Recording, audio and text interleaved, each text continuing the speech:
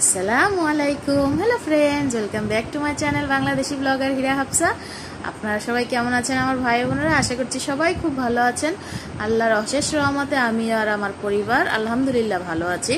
তো আশা করছি আমার ভিডিওটি পুরাটা দেখবেন আর আমার চ্যানেলটিকে সাবস্ক্রাইব করে না থাকলে প্লিজ সাবস্ক্রাইব করে পাশে থাকা ছোট্ট বেল আইকনটি বাজিয়ে দিবেন যাতে করে আমি নতুন কোনো ভিডিও দিলে তা আপনারা পেয়ে যান সাথে সাথে। তো যাই হোক অনেক ভাবভঙ্গি করা হয়ে গেল, মাত্র ওই ফজরের নামাজ পড়ে উঠলাম। এখন কিন্তু প্রচুর সকাল।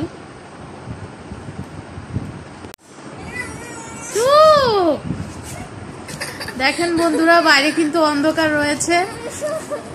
আর হাফসা কিন্তু ঘুম থেকে উঠে খুব দিন দুষ্টুমি করতেছে। নামাজ পড়ল। আমার সাথে কেন দুষ্টুমি করতেছে সেটাও বলে দিই। শুনতেই পেলেন কতগুলা তেলা পোকার ওষুধ দিয়েছিল আপনার ভাই? তা না হলেও কয়টা? একটা দুইটা তিনটা চারটা পাঁচটা ছয় সাতটা মরেছে প্রায়। ছয় সাতটা ছয় সাতটা তেলা পোকা মরেছে। তাই দেখে হাফসার অবস্থা খারাপ। সে নিচে তো নামতেছেই না। যদি বলি যে এই যে গায়ে তেলা পোকা অবস্থা খারাপ। আর আমার হাড় মাংস তো জ্বালিয়েই দিচ্ছে। তো যাই হোক। তেলা পোকা তাদের প্রাণ ত্যাগ করে দিল আপনার ভাইয়ের ওষুধ খেয়ে। কারণ তারা আর বেঁচে থাকতে পারল না আর আমাকেও জ্বালাতে পারল না। অসহ্য পরিমাণে জ্বালিয়ে খেয়েছে। আর বিশেষ করে আমার দরজার নিচ দিয়ে একটু ফাঁকা আছে মানে মেন গেটের নিচ দিয়ে একটু ফাঁকা আছে। সেখান দিয়ে তেলাপোকাও আসে। কত সময় ষোলো ইঁদুর আছে না? আমাদের দেশে বলে নেংটি ইঁদুর। তো এইটুকু এইটুকু ইঁদুরগুলা, ওগুলাকে শৈলা ইঁদুরও বলে। তো ওইগুলা এসে কিন্তু এই কুটুকাটু কুটুকাটু কুটুকাটু কুটুকাটু করতেই থাকে। সকালে কারণে আমি নিচ দিয়ে একটা কাপড়ের মানে চাদর আছে, চাদর মোটা করে নিচ দিয়ে দিয়ে রাখি যাতে ঢুকতে না পারে। আর এখন কিন্তু বাজে আপনার প্রায় ছয়টার মতো। আপনার পৌনে পাঁচটা বাজে আজান দেয় এখন। চারটা পঁয়তাল্লিশে আজান দেয়, তো অত সকালে তো আর উঠা হয় না। একটু পরেই উঠি, সাড়ে পাঁচটার দিকে উঠি। উঠে একটু টুকিটাকি টুকিটাকি বলতে কি, অনেক সময় একটু মোড়ামুড়ি করি। সকালবেলার ঘুম তো বুঝে নিই একটু মোড়ামুড়ি করে সরে তারপরে আপনার উঠে নামাজটা পড়ে, ব্যাস, টুকিটাকি টুকিটাকি কাজ। এখন বানাতে যাব নাস্তা, তো হাফসা বিছানাটা গুছিয়ে নিবে।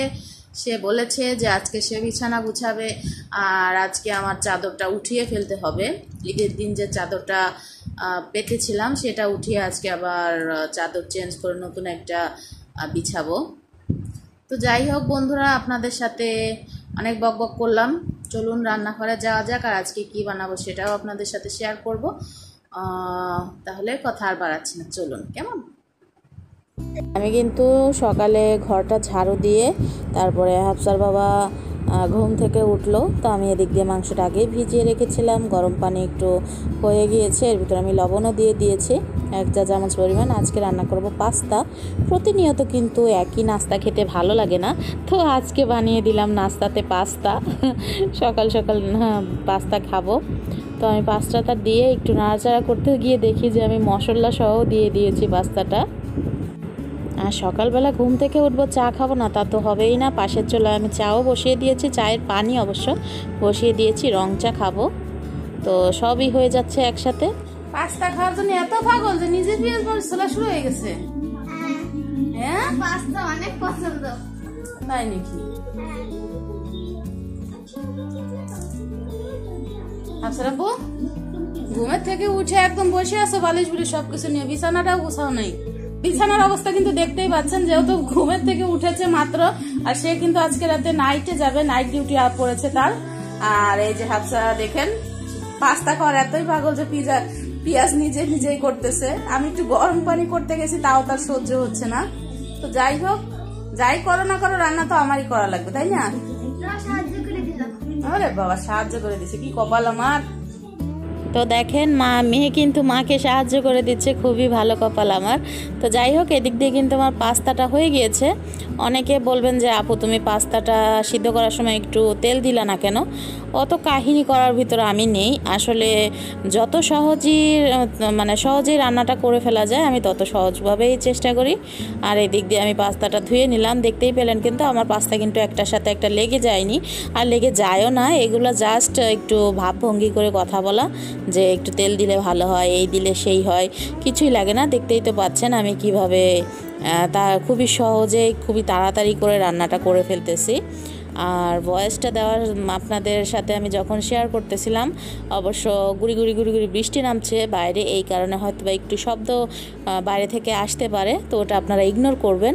আর এখানে আমি একটু পেঁয়াজ কুচি করে নিয়েছি আর কাঁচামরিচ কয়েকটা দিলাম। সরিষার তেলেই পাস্তাটা রান্না করব। আর মাংসটা যে সিদ্ধ করেছিলাম সেটা আমি হাত দিয়ে ছিঁড়ে নিয়েছি। আর এখন আমি দিয়ে দিব পাস্তার ভিতর যে মশলাটা থাকে, সেই মশলাটা। এটা দিলে কিন্তু ফ্লেভারটা খুবই ভালো আসে। আর আপনারা চাইলে নাও দিতে পারেন। আমি অনেক সময় দিই না, আবার অনেক সময় দিয়ে দিই। তো এটাকে এখন আমি একটু ভালো করে ভাজা ভাজা করে নেব। যখন ভাজা ভাজা হয়ে গিয়েছে, আমি গ্যাসটাকে কমিয়ে মাংস আর যে পেঁয়াজ মানে মরিচ আমি ভেজে নিয়েছি, এটাকে এক সাইডে করে তেলটা যখন নিংড়িয়ে এক সাইডে চলে আসবে, তখন আমি দুটো ডিম ভেঙে দিচ্ছি। যেহেতু সকালের নাস্তা একটু ভারী খাওয়াই যায়, কোনো সমস্যা হবে না। আর এখানে মাংসের প্রোটিনও আছে, ডিমের প্রোটিনও আছে। খুবই স্বাস্থ্যকর একটা নাস্তা হয়ে যাচ্ছে আমাদের সকালবেলা। একদমই সহজভাবে কিন্তু মজাদার একটা খাবার আজকে আমি বানিয়ে নিলাম। আর দিব হলো থাই চিলি সস। এটা দিলে একটু ঝাল ঝালও আসবে, আবার একটু মিষ্টি মিষ্টিও লাগবে। ভালো লাগে আমার এই সসটা দিলে।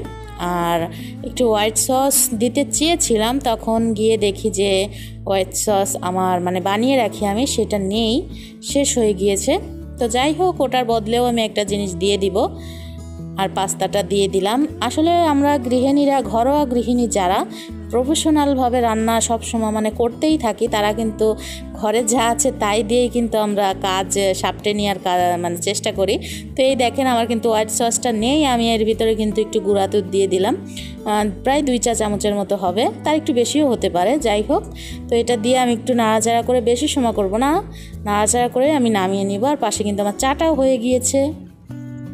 তো আমি টেবিলে চলে এসেছি। হাফসার বাবা হাত মুখ ধুয়ে রেডি হয়ে গিয়েছে। আর টেবিলে আসবে আর হাফসা বিছানা গুছিয়ে, চুল আঁচড়িয়ে সব কিছু ঠিকঠাক হয়ে গিয়েছে। আসলে বাচ্চা মানুষ তো, একটু তাড়াতাড়ি ঠিকঠাক হয়ে যাবে। আর এখন আমরা এই পাস্তা মজাদার পাস্তাটা খেয়ে নিব।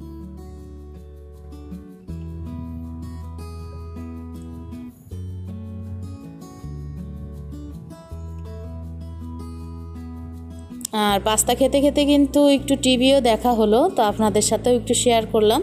তো টিভি দেখে দেখে পাস্তা খেয়ে নিলাম সকালে নাস্তা পানি খাওয়া শেষ। এখন যে পাস্তা রান্না করতে গিয়ে যে কত কিছু মাখিয়েছি, সেগুলো তো ধোয়াপাল্লি করে শেষ করে নিতে হবে। আসলে অল্প জায়গার ভিতরে যখনকার কাজ তখন করে নিলেই ভালো হয়। অল্প জায়গা হোক আর বেশি জায়গায় হোক, একেবারে কাজটা সেরে নেওয়াই ভালো। আর দুপুরে রান্নাবাড়াও তো করতে হবে, তো অল্প অল্প করে কাজ করে নেওয়া খুবই ভালো।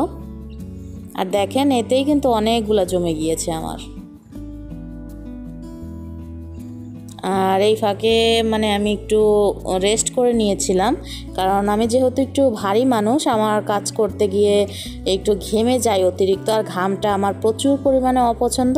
তো আস্তে আস্তে করে আমি কাজগুলো করে নিচ্ছি। এদিকে আমি আজকে একটু বিরিয়ানি রান্না করব। বললাম যেহেতু বৃষ্টি নামছে বাইরে, সুন্দর অল্প অল্প অল্প অল্প বৃষ্টি নামছে গুড়ি গুড়ি তো এর ভিতরে কিন্তু বিরিয়ানিটা খেতে খুবই ভালো লাগে, আর আমি কিন্তু পাতিলাতে দেখতেই পাচ্ছেন যে টমেটো সস, টক দই, আদা রসুন বাটা, কাঁচা মরিচ দিয়ে রেখেছি আর এদিক দিয়ে আমি জয়ফল, জয়ত্রী, কাঁচা পেঁয়াজটা, তারপর একটু জিরা, শাহি জিরা, এগুলো একটু বেটে নিলাম। ব্যাস, বিরিয়ানির মশলা। এগুলো কিন্তু আমি অনেকবারই রান্না করে দেখিয়েছি আমার চ্যানেলে। আর রেসিপি লিঙ্কগুলো আমি ডিসক্রিপশন বক্সে দিয়ে দিব আর আই বাটনেও দিয়ে দিব। আপনারা চাইলে ভিডিওগুলো দেখে নিতে পারেন। আর আমি ছোট ছোট করে নিচ্ছে মাংসগুলো। যেহেতু একটু ছোট ছোট হলে খেতে ভালো লাগে, তেহারির মাংসটা ছোটই মজা লাগে। আর বন্ধুরা, আমার যদি কোনো কথাবার্তায় ভুল ত্রুটি হয়ে থাকে, মানুষ বলতেই ভুল হয়। বড় বোন হিসেবেই দেখেন আর ছোটো বোন হিসেবেই দেখেন। প্লিজ ক্ষমা সুন্দর দৃষ্টিতে আমাকে মাফ করে দিবেন। আর আমার ভিডিওগুলা যদি আপনাদের ভালো লেগে থাকে, অবশ্যই সাবস্ক্রাইব করে পাশে থাকবেন। আর আমি রান্নাটা আজকে আপনাদের সাথে শেয়ার করতে পারলাম না, দুঃখিত বসিতভাবে আমার একজন ভাবি ফোন দিয়েছিল, তো তার সাথে কথা বলতে বলতে রান্নাটা শেয়ার করা হলো না। আর অন্যান্য কাজের ফাঁকেও তার হয় না। সব কিছু করে নিতে নিতে একটু সময় বেশি হয়ে গিয়েছে। হাফসার বাবাও খাচ্ছে, হাফসাও খাচ্ছে আর আমিও এখন খেয়ে নিব। আজকে আর ডাইনিং টেবিলে বসলাম না, আজকে এখানে খাটের ওপর বসেই দুপুরের খাবারটা খেয়ে নিব। তো বন্ধুরা, আপনারা সবাই অবশ্যই আমার মেয়েটার জন্য দোয়া করবেন, আমার পরিবারের জন্য দোয়া রাখবেন, সবসময় আমার পাশে থাকবেন।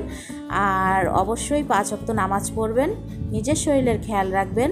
সবার জন্য দোয়া করবেন। আজকে আর বেশি কথা বাড়াচ্ছি না, বেশি বকবক করলে আপনারা সবাই রাগ হয়ে যান।